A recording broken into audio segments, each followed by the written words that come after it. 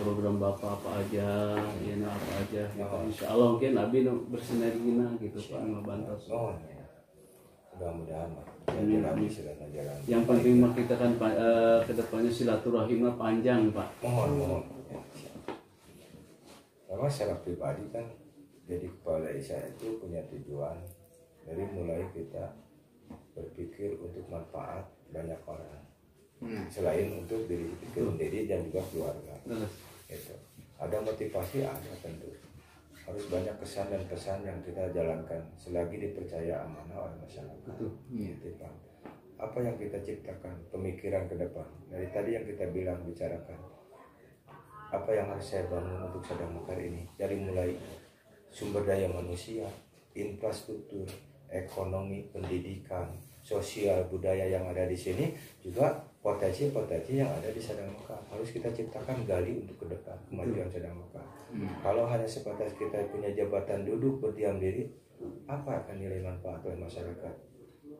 Kalau kata masyarakat jangan meriang we juga Beres. gitu.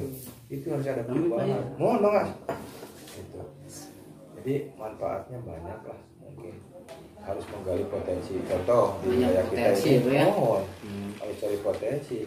Kita menggali di sekitar kita ini ini masalah petani. Oh, kebanyakan kan mayoritas penduduk petani.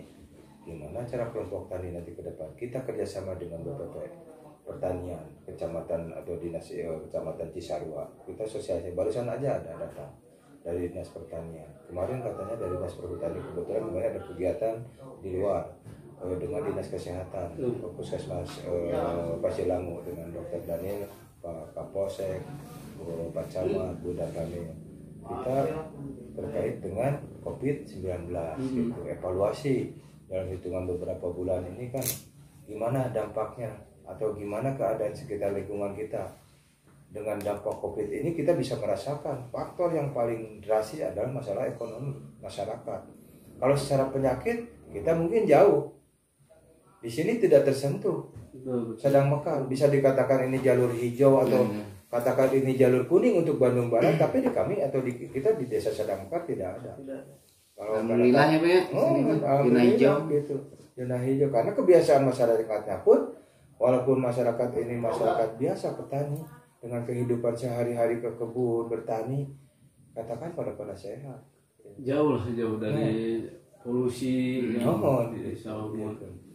Makanya kita harus berpikir gimana cara untuk mengejar para petani atau peternak yang ada di sini. Kita coba nanti berbicara untuk ke depan. Kalau tahun ini mungkin tata- tahap pembenahan lah. Margi meureun abdi namanya celek gitu nya. Walaupun tahu dari awal perjalanan sedang mekar seperti apa, itu mah dulu. Saya Ini tidak punya kewenangan. untuk program ke depan buat 2020 ini programnya eh, program apa aja Pak? Tadi ini Sebenarnya kalau program kita udah berencana. Dari mulai dari mulai infrastruktur. Gede gede di ajunan. Orang dilibatkan kan